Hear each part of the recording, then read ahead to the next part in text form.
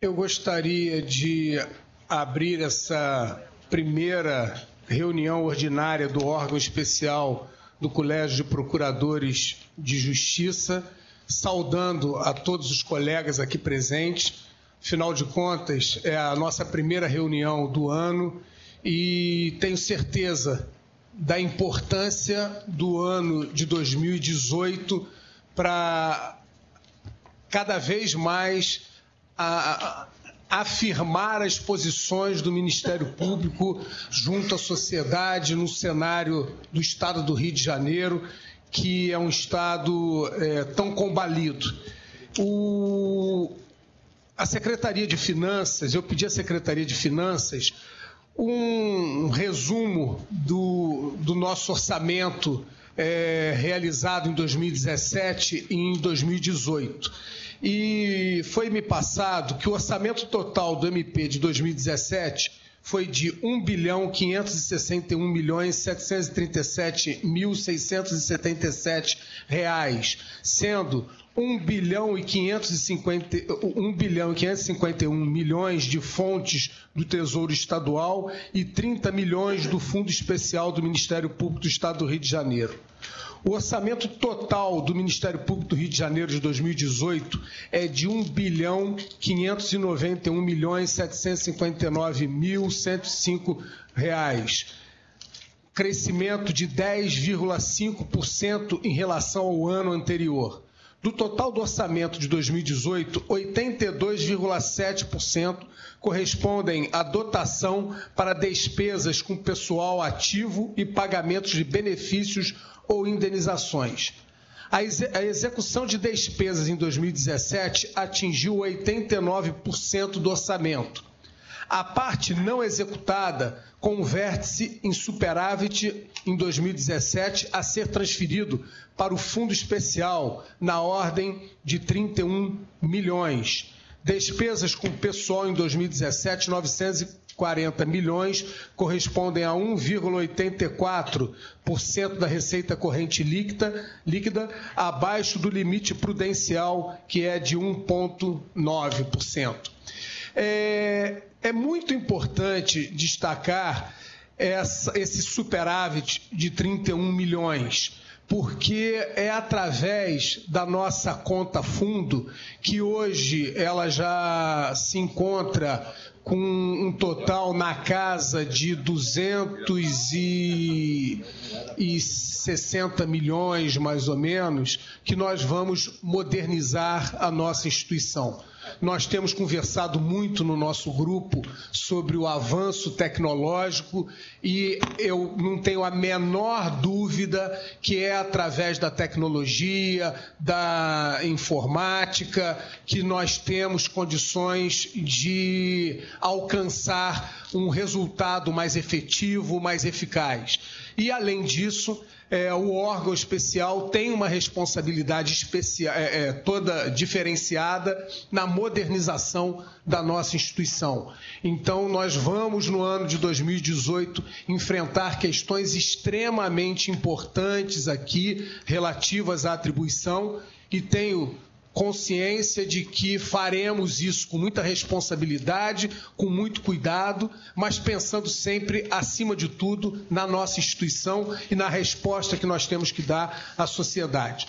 O ano de 2018 começou de forma intensa, como é, todos já observaram, questões relevantíssimas para a instituição, como a linha 4 do metrô, como a, a, questão ligada ao secretário de administração penitenciária e à cúpula da administração penitenciária do Estado do Rio de Janeiro. É, sem dúvida alguma, o enfrentamento corajoso e, nesse sentido, o, o GAESP é, foi uma conquista muito importante da nossa instituição e o GAESP atuou com muita dedicação nessa causa e com uma interlocução muito importante também com o Poder Judiciário. Então, eu não tenho a menor dúvida que no ano de 2018 teremos enfrentamentos permanentes, talvez até semanais, mas o Ministério Público se fará presente em cada momento, em cada instante. Então, essa era uma manifestação preliminar que eu gostaria de fazer. É, vou presidente. passar a palavra. Senhor presidente, eu gostaria de é, saudar a todos. Estou de volta aqui ao órgão especial depois de algum tempo. E, aproveitando o ensejo, eu ontem tive a felicidade de encontrar é, no hall dos elevadores com a promotora Andréa Amin. E eu fiz a chamada é, colega, colega, e ela veio até mim. E eu tive a felicidade de dar parabéns a ela. Eu gostaria aqui deixar é, consignado é, a minha, meu regozijo pela atuação dela, firme e diante da sociedade, prestando contas. E justamente com essa sinergia que ela manteve com a área federal, que é importante nesse caso. É, sim, sem dúvida alguma. Eu acho que foi um avanço muito grande o compartilhamento de provas e a chegada das mídias de delações prestadas na esfera federal tem acontecido com muita frequência Semana passada mesmo teve um dia que recebemos no mesmo dia cinco mídias. Então, agora, na virada do ano, eh, elas começaram a chegar com muita intensidade. E, aliás, ontem, na reunião do Conselho Superior do Ministério Público, nós aprovamos a banca do concurso. E apenas para que os senhores tenham ideia, nós temos hoje 148 procuradores de justiça aptos a se aposentar e temos 38 promotores de justiça aptos a se aposentar e cerca de 34 claros na carreira. Então, é, isso demonstra de forma inequívoca a necessidade de fazermos um concurso e termos um banco de reserva. Recentemente, nós tivemos, inclusive, é, uma reunião com o Conselho de Recuperação Fiscal do Estado, que veio nos indagar com relação à realização do concurso. Nós explicamos que não estávamos criando cargos novos, o Marfam participou também diretamente dessa reunião e creio que eles se convenceram disso. Mas realmente a situação é dramática. Se cair o, o auxílio moradia e incorporar ao salário essa VTM, certamente muitos optarão pela aposentadoria. E isso pode gerar um déficit na instituição muito grande.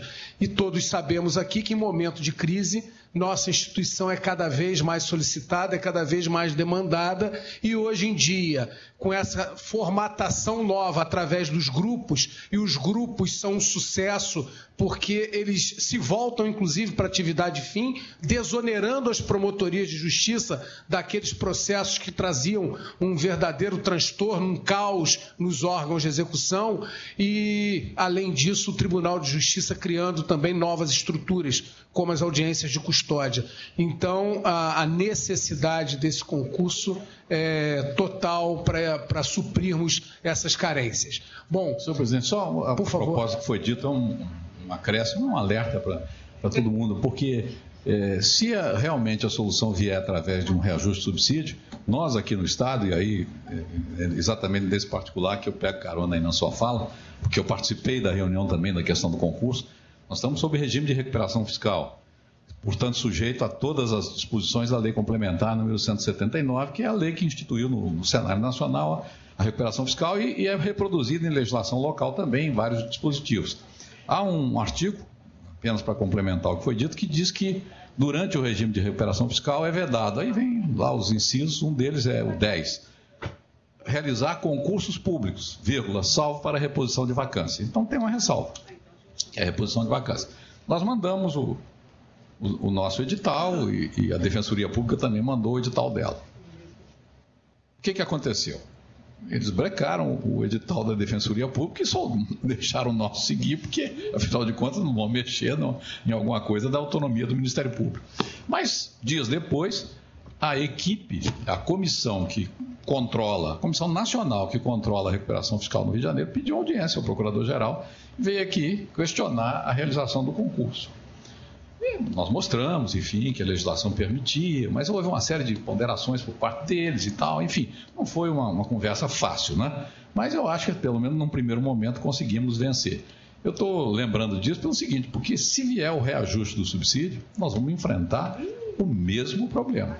E aí talvez até com uma dificuldade maior, porque também na, na mesma lei complementar 159, a vedação a reajuste salarial.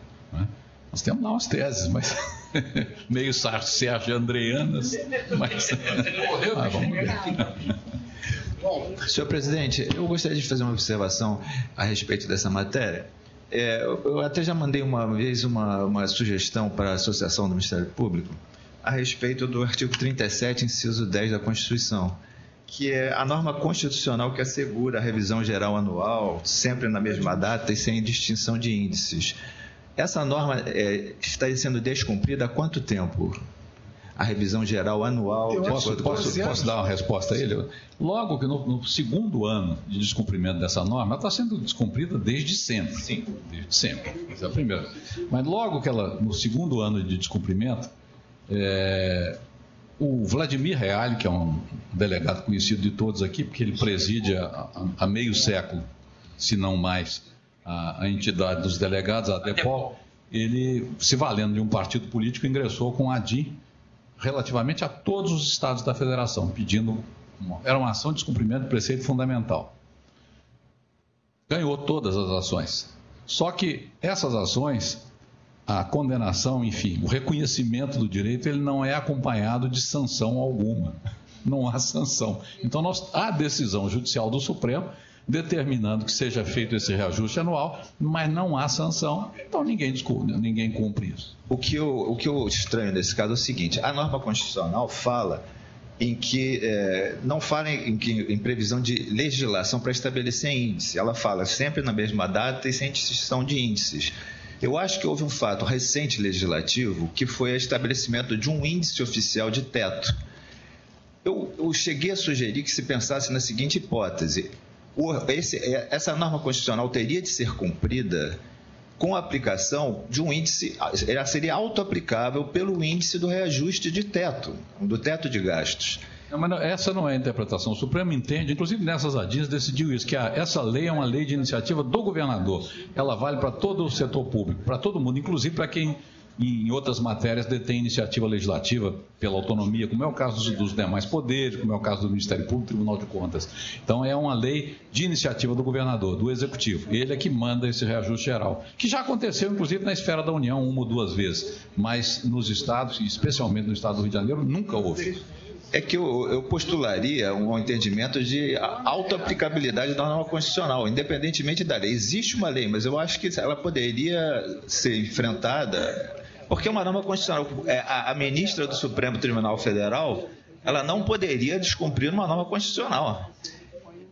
Me parece que poderia ser postulado uma aplicação, uma autoaplicação dessa norma constitucional, independentemente da lei. Eu, eu conheço a lei, já verifiquei a lei, me parece que ela seria dispensável, poderia se tentar, é apenas uma sugestão. Obrigado.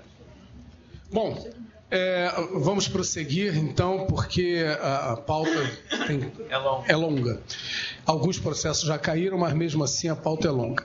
Indago se todos receberam a ata da nona reunião, reunião ordinária de 11 de dezembro de 2017, se estão todos de acordo com seus termos. Senhor presidente, só pedir uma pequena retificação na justificativa da, da ausência ao final da reunião minha da subcorregedora. Já foi atendido. Obrigado. Ótimo. Feita havia, a retificação. Eu havia, eu havia, feito uma. Eu também. Já foi consertada?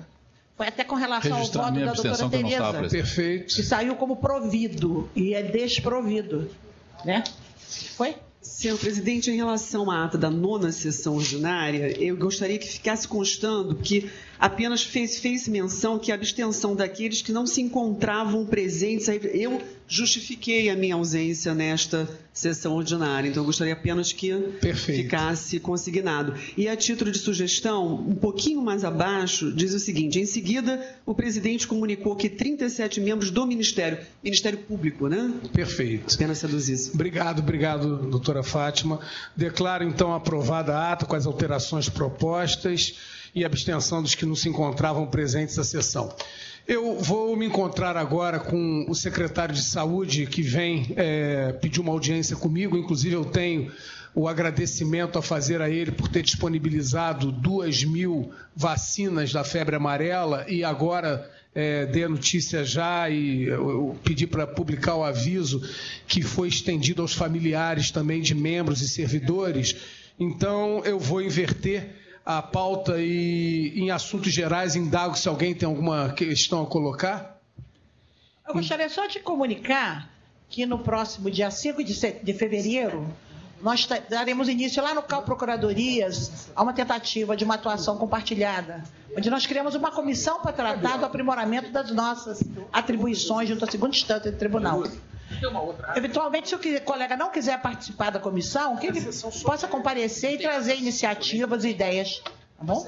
É, eu queria aproveitar a doutora Conceição, porque nós tivemos uma conversa no final do ano passado a respeito desse programa piloto do teletrabalho, influindo também em outras questões administrativas da Procuradoria. Eu não consegui é, reunir o entendimento que seria tanto dos procuradores como dos servidores. Eu gostaria de que isso fosse uma coisa unificada. Eu acho que agora realmente foi apresentada pela doutora Conceição a sede própria para se discutir isso. Eu até me, me é, penitencio em relação aos colegas que imaginavam que eu ia tomar uma iniciativa a respeito disso, mas me parece que a doutora Conceição tá, está trazendo a sede própria para a discussão de todas essas questões. Obrigado. Senhor presidente. Sim. Eu queria só é, noticiar que no dia 6 de março, às 10 horas, na Ampers, na sede da Ampers, na rua Rodrigo Silva, vai ter continuidade, né? O nosso personalidade do Ministério Público e a personalidade da vez será o doutor Antônio Biscaia. Né? Então, eu gostaria de convidar todos é terça-feira, dia 6 de março, 10 horas da manhã, na Ampers, personalidade da MP Biscaia. Posso fazer uma sugestão, doutor Márcio Klang? Pois não. Tem umas figuras nacionais muito importantes que estão ficando velhas, entendeu? E a gente precisava colher logo os depoimentos, porque daqui a pouco Jesus chama. Então, é, é, Por exemplo, eu indicaria o, o Fleury, Sim. governador de São Paulo, que foi grande comandante lá de Brasília da, da Constituinte, Antônio Araldo Ferraz Dalpozo, que era presidente da Conam. Bernardo Cabral, não é? Bernardo Cabral é, é uma pessoa, vizinho nosso. Aristide Junqueira. Enfim, depois de outros nomes tá bom. também. Muito prazer. É, eu, eu, indago também se receberam e estão de acordo com a ata da sessão solene do órgão especial é, do dia, dia 15 de dezembro de 2017. Então, não havendo objeção, declaro aprovada a, a, a ata da sessão solene e passo a presidência dos trabalhos agora. Ah, tem que fazer um sorteio.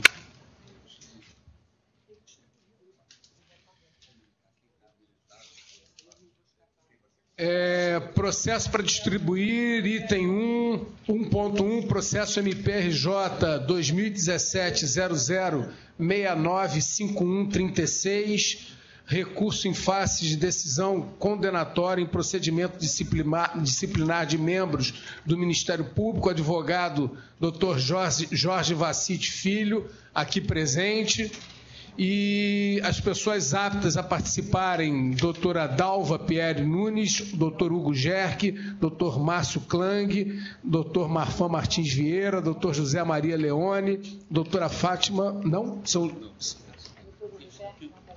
doutora Fátima Maria Ferreira Melo, doutora Ângela Maria Silveira dos Santos. Mas qual é o caso? É o item 1.1. 1.1, recurso em face de decisão condenatória em procedimento disciplinar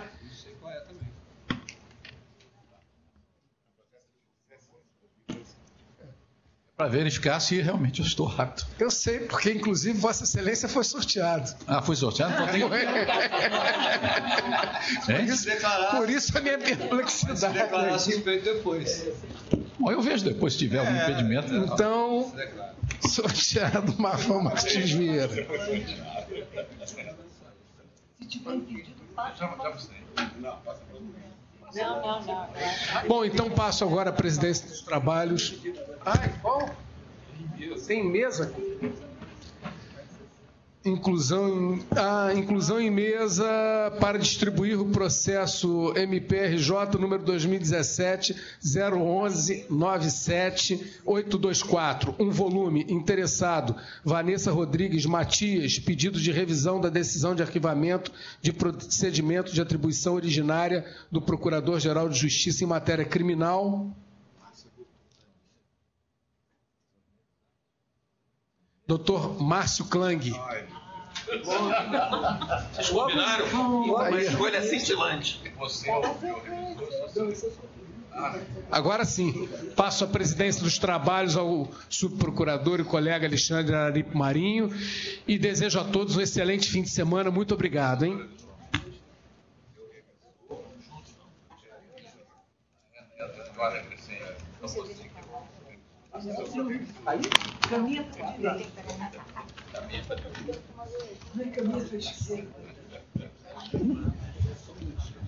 Bom dia a todos, para quem eu não dei bom dia, eu estou dando novamente bom dia para quem já dei bom dia. Vamos lá. Vamos prosseguir, né? lembrando a todos aí que nós temos uma pauta um pouco, um pouco longa, né? E certamente eu tenho certeza que todos se portarão com a objetividade de sempre. Né? Vamos. Eh, primeiro, eu queria anunciar a retirada de pauta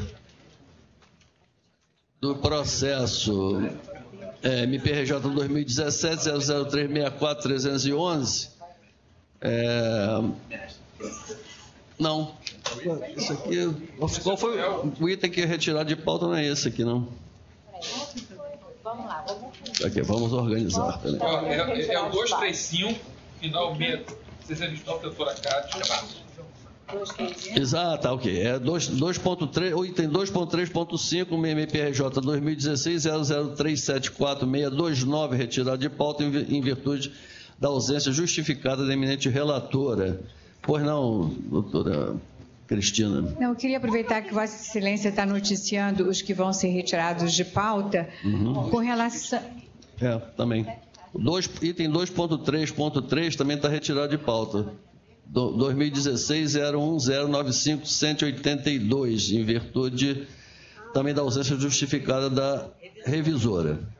São esses os retirados de pauta. Vossa Excelência tem. Senhor presidente, pela ordem, uh, o item 2.31 da pauta é, houve um requerimento de esclarecimento da decisão colegiada. Bueno. Esse processo já foi julgado e o patrono, o doutor Duvaldo Viana, entrou com esse requerimento. Só que no início da semana, ao ser publicada a pauta, ele apresentou uma solicitação de adiamento, por quanto não poderia estar presente nessa sessão. Considerando que o requerimento apresentado ele certamente vai ser apreciado pelo colegiado porque abrirá ou não um precedente, ele não tem, é, é, um recurso que não tem previsão nem no nosso regimento interno do órgão, nem na nossa legislação.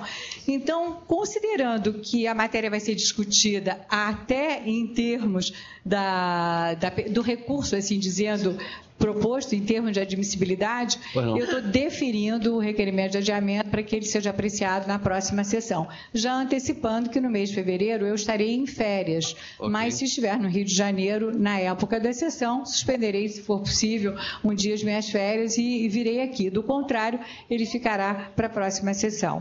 Tá? tá? Mas diante do pedido de adiamento e diante da natureza da matéria que vai ser discutida, eu estou deferindo o pedido. Ok, então processo 2017, zero, é, item 2.3.1, é, processo 2017 013029115, retirado de pauta, adiado por, é, deferi, é, por deferimento da eminente relatora, requerimento e deferimento da eminente relatora. Mas eu vou consultar o eminente, porque nós temos um processo em seguida, que é o processo em seguida, que eu consulto o doutor advogado, se poderíamos adiar esse outro processo 2.3.